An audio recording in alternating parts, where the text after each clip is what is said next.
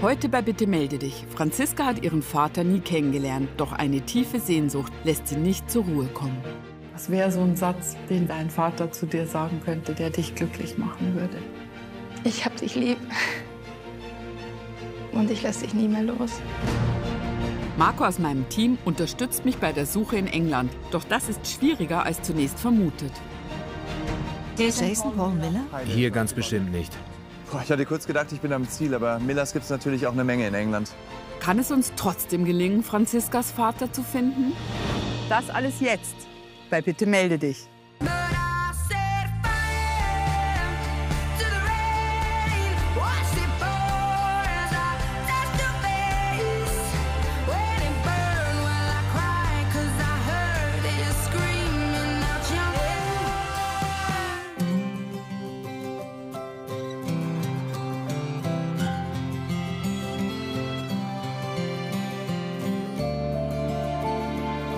Suche meinen Vater, Jason Paul Miller.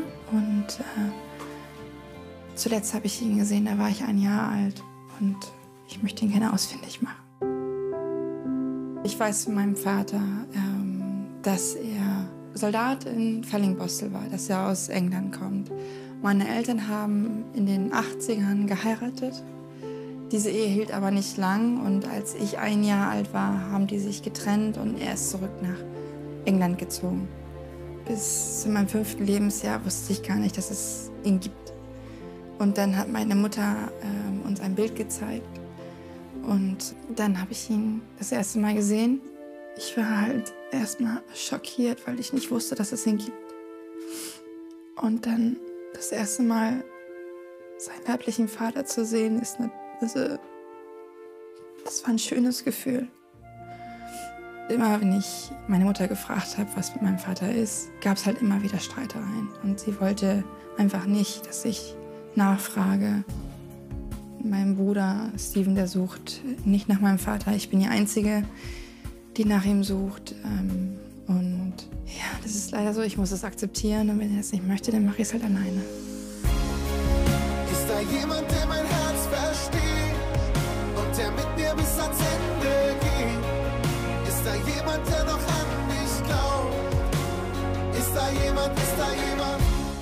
Foto, was ich von ihm habe, es bedeutet mir unendlich viel. Das gucke ich mir so oft abends an, bevor ich schlafen gehe. Und wenn ich einen Wunsch frei hätte, dann würde ich. Dann würde ich so gerne den Finger schnipsen und mein Vater wäre jetzt hier. Das wäre mein größter Wunsch. Dann ist da jemand, ist da jemand?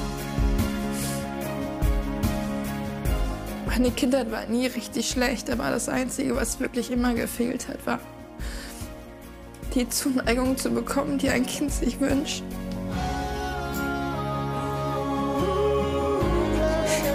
Dann ist da jemand, ist da jemand? Ich habe mich mit Franziska verabredet, denn ich möchte versuchen, ihr zu helfen. Ist da jemand, ist da jemand? Franzi, ich freue mich sehr, dass du hier bist. Ich freue mich auch sehr, Julia. Das hat ja einen Grund. Du bist auf der Suche nach deinem Vater. Richtig. Mm, Wenn wir jetzt die berühmte Skala bemühen würden, von 1 bis 10, wie groß ist der Wunsch nach deinem Vater in deinem Leben? Gibt es auch eine Zahl über 10? Also auf jeden Fall 10. Fühlst du diese Sehnsucht auch, wenn du andere Freundinnen oder wen auch immer mit, mit dem Vater siehst, so eng verbunden? Ich kann mir vorstellen, dass das manchmal schwierig ist. Ja, das ist ähm, sehr, sehr schwierig. Also wenn ich zu einer Freundin fahre und bei ihr schlafe und ähm, wir dann irgendwie zum Essen bei ihren Eltern sind, das innerlich schmerzt das sehr, weil einfach dieses Bild, dass da halt auch noch der Vater sitzt und ich das nicht habe, das will ich gar keinem wünschen, weil das ist einfach, das ist einfach verletzend und das macht mich einfach traurig. Du spürst diesen Verlust in deinem Leben sehr stark. Ja, Ist dein Vater der blinde Fleck? ja. Das ist ein, ein Teil, ein großer Teil in meinem Leben, der fehlt. Eine Lücke, die sich nie schließen konnte. Was wäre, wenn er dir sagen würde, dass er dich auch sehr vermisst hat und ähm, dass er stolz auf dich ist? Das wäre einfach schön. Das merke ich ja. Das würde ganz viel heilen, ne? Ja, das wäre großartig.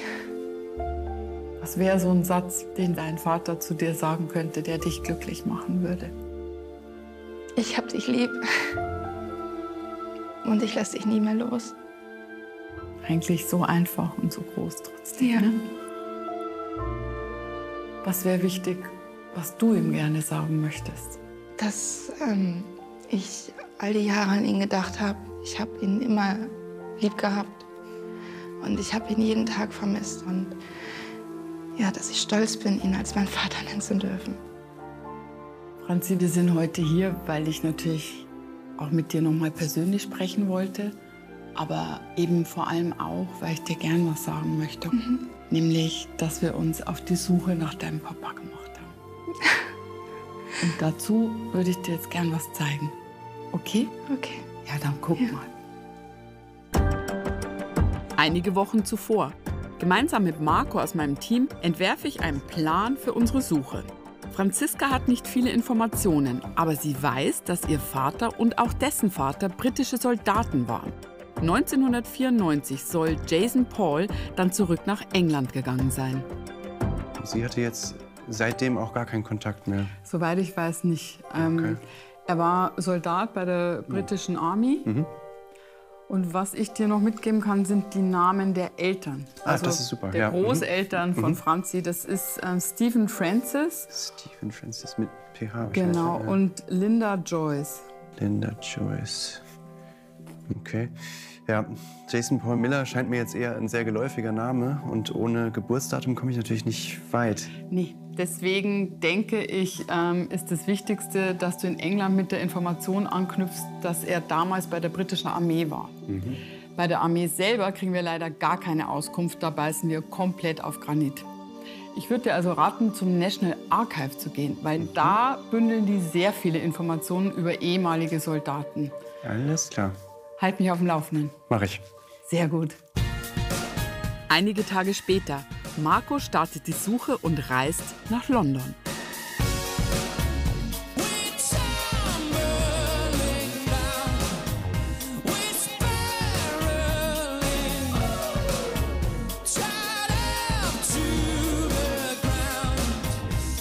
Im Südwesten der Hauptstadt liegt der Stadtteil Kew.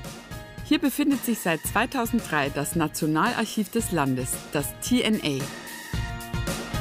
Ich konnte im Vorfeld einen Termin ausmachen, sodass ich jetzt im Archiv nach Jason suchen kann. Hier soll es Massen an Unterlagen geben. Ich bin gespannt, was ich finden werde. Aus über 1000 Jahren britischer Geschichte sollen hier in der angeblich umfangreichsten Archivsammlung der ganzen Welt unterschiedlichste Dokumente zu finden sein. Da große Teile des Archivs mittlerweile digitalisiert sind, kann Marco relativ gezielt nach Informationen über ehemalige Angehörige des britischen Militärs suchen. Doch Soldaten mit dem Namen Miller gibt es unendlich viele. Und zum Vornamen Jason Paul Jason Paul Miller finde ich gar nichts. Ich versuche es mal mit dem Vater. Stephen Francis Miller. Glücklicherweise kennt Franziska den Vornamen ihres Großvaters. Dies könnte ein Riesenvorteil sein, denn auch der war beim Militär. Ich habe hier was gefunden. Stephen Francis Miller, Corporal, the Staffordshire Regiment. Und da ist tatsächlich sogar seine Armeenummer. 24099 485. Das drücke ich mir direkt mal aus.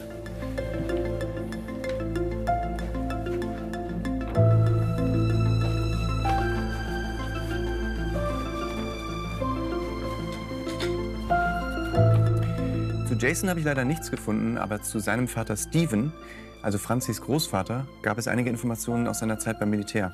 Und damit mache ich jetzt weiter. Am nächsten Tag. Marco ist gut zweieinhalb Stunden nordwestlich in die englische Region der West Midlands nach Litchfield gereist. In dieser Region war das Regiment von Stephen, dem Vater des Gesuchten, stationiert. Im historischen Zentrum der kleinen Stadt hat Marco heute eine Verabredung.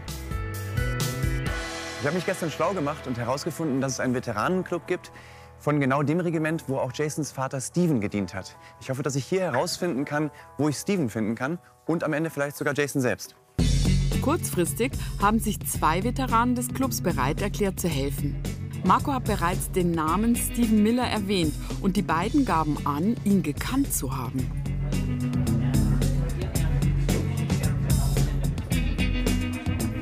Hi there, excuse me. Entschuldigung, ich bin mit zwei Herren vom Veteranenclub verabredet. Die sitzen hier direkt um die Ecke. Thank you very much. Vielen Dank. Good afternoon. Guten Tag, sind Sie die Herren vom Veteranenclub? Yeah. Malcolm? Malcolm? Das bin ich. Good to meet you. My name is Marco. Angenehm, mein Name ist Marco. Das ist Smacker. Schön, Sie kennenzulernen. Very glad to meet you. Setzen Sie sich doch. Was können wir für Sie tun? Can I explain it to you? Ich erkläre es Ihnen. Danke, dass Sie sich Zeit für mich genommen haben. Kein Problem. Sie könnten mir eine große Hilfe sein.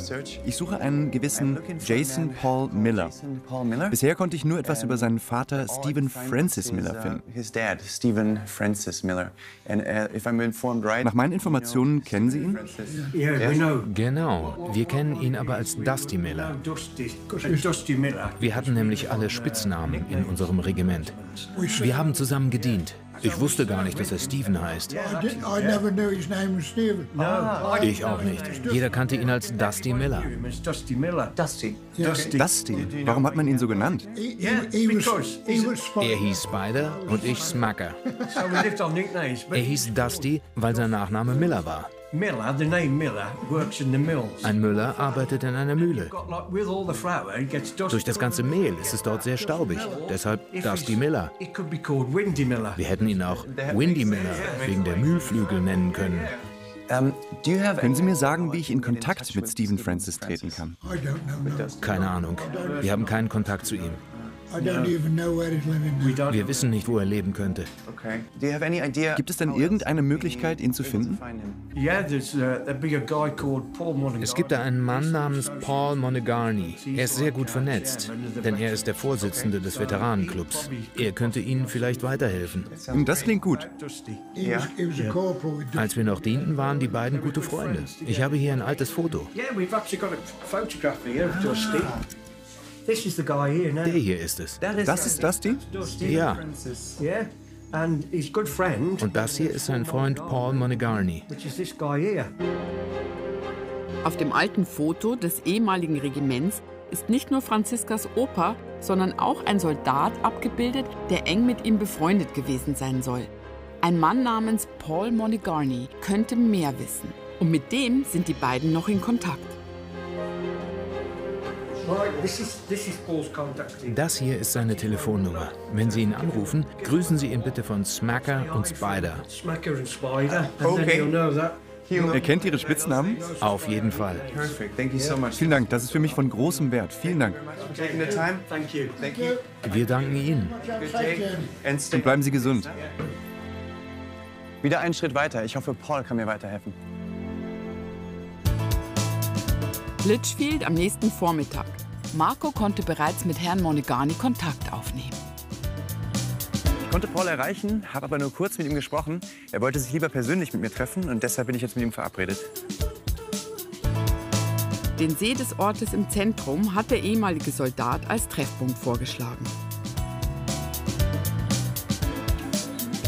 Hi there. Are you Paul? Hallo, sind Sie Paul? Ja, I'm Marco. Good to meet you. Ich bin Marco. Schön, Sie kennenzulernen. We talk? Thank you for your time, Paul. Danke, dass Sie sich Zeit nice genommen haben. Ich habe Ihnen ja gestern am Telefon gesagt, dass ich jemanden suche. Ich erkläre Ihnen mal, wen genau. And let me explain to you who I'm looking for. It is actually uh, Ich suche einen Jason Paul Miller. Ich habe aber bisher nur etwas über seinen Vater Stephen Francis Miller herausfinden können.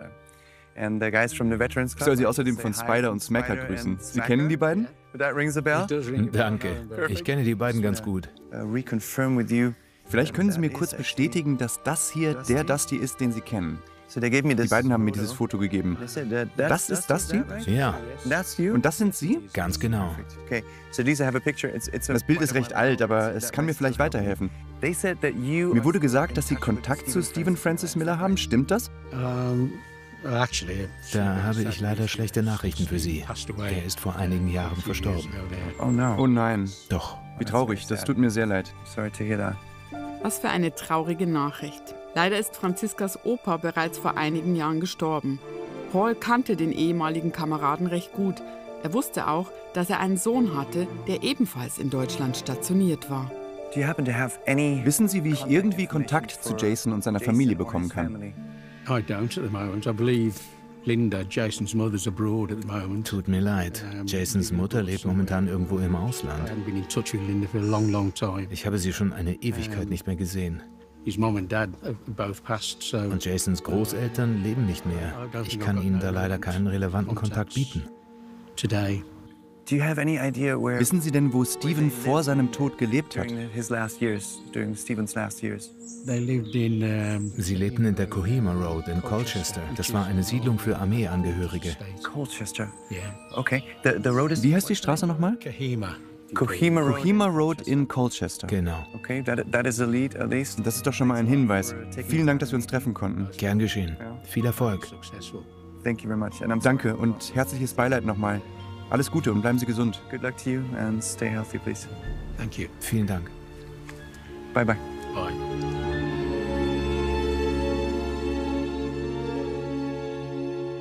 Am nächsten Tag. Marco reist 250 Kilometer südwestlich nach Colchester.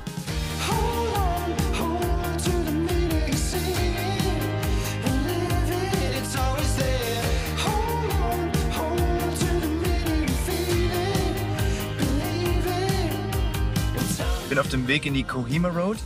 Ist zwar eine ziemlich vage Spur, aber vielleicht erinnert sich jemand an die Familie Miller. Franziskas Opa Steven soll hier zuletzt gelebt haben. Da er erst vor einigen Jahren verstorben ist, könnte sich möglicherweise ein Nachbar finden, der weiß, was aus dem Rest der Familie geworden ist. Stevens ehemaliger Kamerad war selbst nie in der Kohima Road und so konnte er auch keine Hausnummer nennen. Marco muss sich durchfragen. Hi there, sorry to bother you. Uh, Entschuldigen Sie die Störung. Keine Angst, wir sind vom deutschen Fernsehen. Ich suche eine Familie Miller. Keine Ahnung. Die sollen in dieser Straße wohnen. Ich suche Jason Paul Miller. Nein, da klingelt bei mir nichts. Stephen Francis Miller, Linda Joyce. Okay. Ich kenne die Nachbarn nicht so gut. Tut mir leid. Deshalb habe ich keine Ahnung. Thank you very much. Have a good day. Bye. Eine Frage, ich suche eine Familie Miller. Um genau zu sein, einen Jason Paul Miller. Kennen Sie ihn? Jason Paul Miller? Oh, Ja, in dieser Straße. Er hat hier mal gelebt oder lebt hier noch? Stephen Francis Miller oder Linda Joyce Miller? Nie gehört. Okay. Aus welchem Grund suchen Sie die? Eine Frau aus Deutschland sucht ihn. Jason Miller ist ihr Vater und wir helfen ihr bei der Suche. Her. Verstehe. Nicht, dass ich wüsste. No Millers. Keine Millers bekannt? Nein, ich kenne hier keine Millers. Kennst du sie? Nein. Dann suche ich mal weiter. Vielen Dank. Gerne. Schönen Tag. Ihnen auch. Tschüss. Eine Frage. Ich suche eine Familie Miller. Sie sollen in dieser Straße wohnen. Miller. Darunter? Welche Hausnummer? Ein Stück weiter runter. Zwei, vier, Nummer 36. 36. 36? 36. Vielen Dank. Kein Problem. Das war ja wirklich nur eine vage Spur, aber die Millers wohnen tatsächlich noch hier.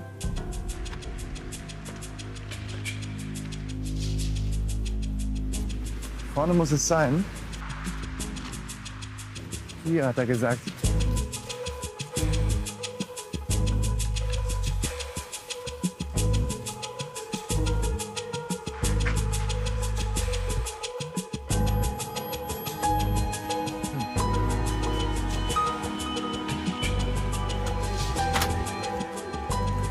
Hallo, keine Angst, wir sind vom deutschen Fernsehen. Ich suche die Familie Miller.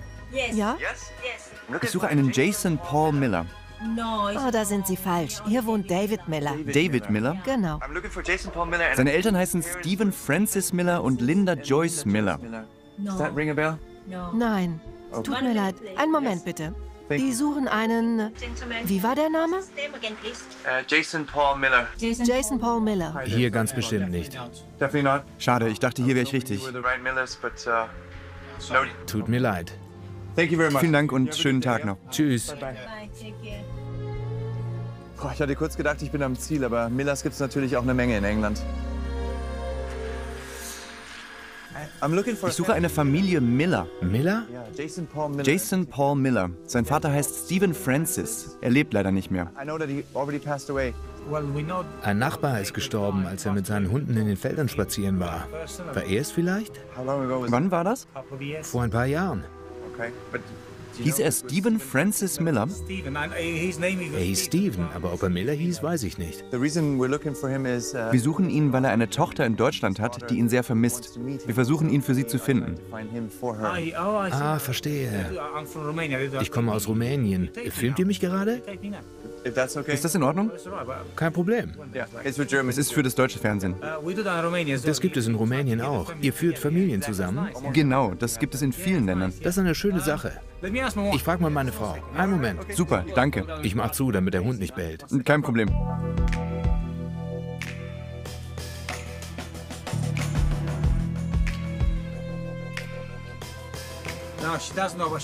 Sie weiß nur, dass Daves Frau eine geborene Miller ist. Sie wohnt drei Häuser weiter. Habt ihr mit denen schon gesprochen? There. Ah, da waren wir schon. Das sind leider die falschen. Sie sind es nicht, okay. Und die kennen auch keine anderen Millers.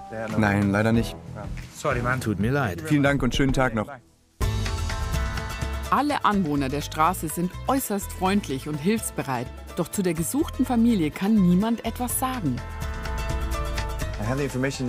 Sie sollen in dieser Straße leben. Kenne ich nicht. Jason Paul Miller. Nein, sorry. Ich kenne hier fast jeden. Der Name sagt mir gar nichts. Seine Eltern heißen Stephen Francis Miller und Linda Joyce Miller. An Steven erinnere ich mich. Wirklich? That's, that's good. Sehr gut. I, I know that Stephen Francis. Ich weiß, dass er leider verstorben ist. Ja. Ich suche eigentlich Jason Paul. Wissen Sie denn, wo die hingezogen sind? Ich habe keine Ahnung. Da kann ich Ihnen leider nicht weiterhelfen. Ich suche verzweifelt nach einem Hinweis. Wissen Sie denn, wo die Familie vorher gelebt hat? Irgendwo in den Midlands. Sutton Coldfield. Sutton Coldfield? Genau. How far from here is that? Ist das weit von hier? Oh, vielleicht so 90, 100 Meilen. Oh, ganz schön weit. Ja, But you're you're certain of that? Aber Sie sind sich ganz sicher? so habe ich es in Erinnerung. Thank you very much. Vielen Dank. Aber gerne. Viel Glück bei der Suche. Vielen Dank. Schönen Tag noch. Sorry. I'm Ich suche eine Familie Miller. Jason Paul Miller, um genau zu sein. Sein Vater Stephen Francis Miller oder Linda Joyce Miller? Den Namen kennen wir nicht. Jason Paul Miller? Stephen Francis Miller? Das sagt mir leider nichts. Not, not that close, I don't know. Tut mir leid. Jason Paul Miller, Stephen Francis Miller, Linda Joyce Miller. Tut mir leid. Ich wohne erst seit einem Jahr hier. Vielen Dank. Schönen Tag. Tschüss. Viel Neues habe ich jetzt in Colchester nicht erfahren, aber zumindest weiß ich jetzt, woher die Familie Miller kommt. Und zwar aus Sutton Coldfield. Und da fahre ich jetzt mal hin.